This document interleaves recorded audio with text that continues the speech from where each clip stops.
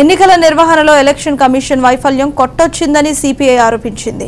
కేంద్రం కనుసన్నల్లో నడిచిన ఎలక్షన్ కమిషన్ ప్రజలు అపోహలను నివృత్తి చేయలేకపోయిందని ఆ పార్టీ రాష్ట్ర సహాయ కార్యదర్శి జేవీవి సత్యనారాయణ ఆరోపించారు. పార్టీ సహాయకులతో కలిసి నర్సీపట్నంలో మీడియా సమావేశంలో మాట్లాడిన జేవీవి ఎలక్షన్ కమిషన్ తీరుపై తీవ్ర ఆక్షేపణ తెలిపారు.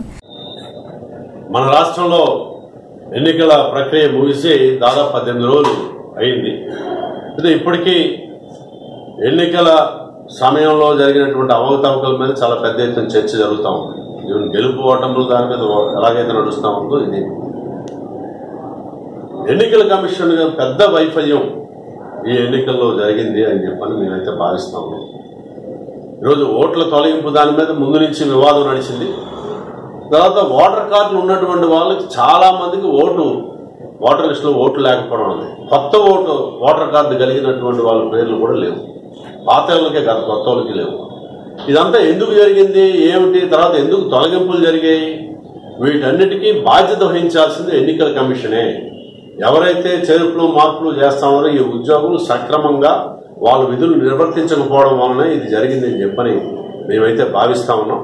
చాలా నష్టం జరిగింది. చాలామంది ఓటు వేయడానికి ఆసక్తితో బూతుల దగ్గరికి వచ్చారు. ఓటు లేకపోవడం వల్ల వెనక్కిపోయారు అందుకని ఓటింగ్ పోల్ పర్సంటేజ్ కూడా చాలా తక్కువ నమోదైనటువంటి పరిస్థితి మనకి చాలా స్పష్టంగా కనిపిస్తూ ఉంది. దీని మీద సరైనటువంటి చర్యలు తీసుకోవాలి. అదేవిధంగా ఎన్నికల కమిషన్ ఈరోజు పూర్తిగా కేంద్ర ప్రభుత్వం యొక్క కనుసన్నలో నడుస్తూ ఉంది. దానికి నిదర్శనం సుప్రీంకోర్టు కలగజేసుకుంటే తప్ప ఎన్నికల నియమాలను ఉల్లంఘించినటువంటి వారి మీద చర్యలు తీసుకోవడానికి ఉపక్రమించలేదు. ఈరోజు ఎన్నికల నియమాలను ఉల్లంఘించింది అత్యధికంగా అధికార పార్టీకి కేంద్రంలో అధికారంలో ఉన్నటువంటి పార్టీ వాళ్ళే.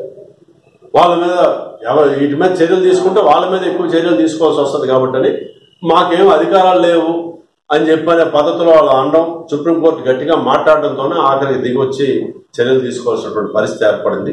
ఎందుకంటే ఎన్నికల కమిషన్ దీనికి పూర్తి బాధ్యత వహించి దీని ప్రక్షాళన చేస్తే తప్ప మరింత స్వేచ్ఛాయుతమైనటువంటి వాతావరణంలో ఎన్నికలు జరగడానికి అవకాశాలు ఉండవని చెప్పని మేమైతే భావిస్తాం. ఇక రెండో ప్రధాన అంశం. జిల్లాలో గిరిజన ప్రాంతాల్లో గిరిజనేతరుల ప్రాబల్యం పెరుగుతుందని టూరిజం అభివృద్ధి పేరున జరుగుతున్న తీరు గిరిజనులకు తీరని అన్యాయం జరుగుతుందని జేవీవి సత్యనారాయణ ఆరోపించారు. అని చెప్పని డిమాండ్ చేస్తున్నాం. దాంతో పాటు ఈ గిరిజన ప్రాంతంలో గిరిజన ప్రాంతంలోని టూరిజం పేరుతో రిసార్ట్స్ వాటి నిర్మాణం ఇట్లా అంబసింగ్లో ప్రారంభమైంది.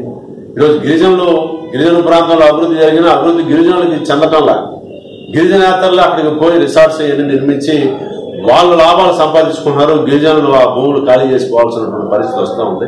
అనంతగిరి మండలంలో కూడా అది చాలా స్పష్టంగా కనిపిస్తూ ఉంది. అక్కడ ఏకంగా సినిమా షూటింగ్ల పేరుతోనే వీళ్ళ రహదారులు కూడా వేసేసుకుంటున్నటువంటి పరిస్థితి కనిపిస్తూ ఉంది. వీటన్నిటి మీద కూడా ప్రభుత్వ యంత్రాంగం కదిలి సరైన చర్యలు తీసుకోవాలని డిమాండ్ చేస్తున్నాం. లేని పక్షంలో మేము ప్రత్యక్ష పోరాటానికి పూనుకుంటామని చెప్పని హెచ్చరిక చేస్తాము జిల్లాలో వేసవి తీవ్రత పెరుగుతున్న నేపథ్యంలో ప్రజల దాహం కేకలు వినిపిస్తున్నాయని ఆందోళన వెలిబుచ్చిన ఆయన తక్షణం సహాయక చర్యలు చేపట్టాలని కోరారు. సమావేశంలో పార్టీ నేతలు బాలేపల్లి వెంకటరమణ గురుబాబు రుత్తుల బుజ్జి పాల్గొన్నారు. నిర్ణయాలు తీసుకోవడానికి ప్రభుత్వాలు వీల్లేదు కానీ మిగతా సాధారణ పరిపాలన చేసుకోవడానికి అవకాశం ఉంది. దాన్ని గుర్తించాలని చెప్పని తద్వారా ప్రజలకి మంచి జరిగేందుకు అందరూ కలిసి కృషి చేయాలని చెప్పని కోరుతా ఉన్నాం. ఈరోజు ఈ రాష్ట్రం అంతా తీవ్రమైనటువంటి నీటి ఎద్దడికి గురవుతా. ఉంది ఈ తాగునీటి సమస్య చాలా తీవ్రంగా ఉంది. ఈ తాగునీటి సమస్య పరిష్కారం చేయడంలో అధికార యంత్రాంగం పూర్తిగా వైఫల్యం చెందింది. దీనికి తగిన చర్యలు తీసుకోవట్లేదు. ఏమన్నానంటే ఎన్నికల పేరు చెప్తా ఉన్నారు. అందుకనే తక్షణమే స్పందించి తక్షణమే స్పందించి మొత్తం ఈ జిల్లా అధికార యంత్రాంగం ఈ జిల్లాలో ప్రత్యేకించి విశాఖ నగరం అలాగే గ్రామీణ ప్రాంతంలో కూడా ఈ తాగునీటి సమస్య ఏదైతే ఉందో దాన్ని ప- పరిష్కారానికి తగిన చర్యలు తీసుకోవాలని చెప్పని మేము డిమాండ్ చేస్తున్నాం. అదేవిధంగా ఇటీవలే హైకోర్టు తీర్పిచ్చింది కాలుష్య మరణాలు ఏమైనా సంభవిస్తే అది ప్రభుత్వ హత్యలు తప్ప మరొకటి కాదని ఈరోజు విశాఖ నగరం తీవ్రమైనటువంటి వాయు కాలుష్యానికి గురైనటువంటి నగరం. దాన్ని వాయు కాలుష్యాన్ని నియంత్రించేటటువంటి చర్యలు తీసుకోకుండా విచ్చలవిడిగా పరిశ్రమలు తమ విస్తరణలకి అవకాశాలు ఇవ్వడం వల్ల మరింత ఎక్కువగా వాయు కాలుష్యం పెరిగేటటువంటి ప్రమాదం ఉంది. దాన్ని వెంటనే తక్షణమే వాయు కాలుష్యాన్ని నియంత్రించడానికి తగిన చర్యలు తీసుకోవాలని. అదేవిధంగా ఇప్పుడు కిడ్నీ బాధితులు పెరుగుతూ ఉన్నారు. ఈరోజు కొత్త తరహా కిడ్నీ బాధితులు వెలుగులోకి వచ్చారు.